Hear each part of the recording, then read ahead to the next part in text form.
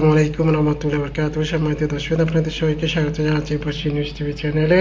সম্মানিত দর্শক, আপনারা জানেন যে প্রতিদিন বাংলাদেশের পাইকারি বাজারে প্রতি কেজি আলু, পেঁয়াজ, রসুন কোথায় কোথায় বিক্রি হচ্ছে তা আপনাদেরকে জানিয়ে থাকি। প্রতিদিনকার মতো আজকে আমরা সে প্রেসটুকে আপডেট করব।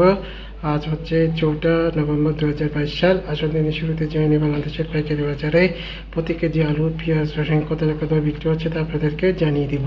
সম্মানিত দর্শকবিন্দু আপনারা আমাদের ভিডিওটি শেষ পর্যন্ত দেখতে থাকুন। সম্মানিত দর্শকবিন্দু ভিডিওটি শুরু করার আগে আপনাদের কাছে একটু অনুরোধ করব, আপনারা যদি আমার চ্যানেল নতুন হয়ে থাকে তো আমার চ্যানেলটি সাবস্ক্রাইব করতে ভুলবেন না। আর আমার চ্যানেল ভিডিও যদি আপনার কাছে ভালো লাগে, অবশ্যই একটা লাইক করবেন, কারণ আপনার একটা লাইক আমাদেরকে এরকম ভিডিও বানাতে আরও উৎসাহ যোগাবে। চলুন দর্শক আজকে পাইকারি বাজারে একটি জেনে নেই শুরুতে জানাব আলুর বাজার। আলুর বাজার হয়েছে অনেকটা স্থিতিশীল, যেটা স্টিক আলু, সেটা বিক্রি হচ্ছে আঠারো টাকা পঞ্চাশ পয়সা, যেটা গুটি আলু, সেটা বিক্রি হচ্ছে তেইশ টাকা। যেটা বগুড়ার লাল আলু, সেটা বিক্রি হচ্ছে পঁচিশ টাকা। সম্মানিত দর্শকবৃন্দ, এবার আপনাদেরকে জানিয়ে দিবে পেঁয়াজের বাজারে সর্বশেষ আপনি পেঁয়াজ নিউজ। যেটা দেশীয় পেঁয়াজ, সেটা বিক্রি হচ্ছে পঁয়ত্রিশ টাকা থেকে আটত্রিশ টাকা।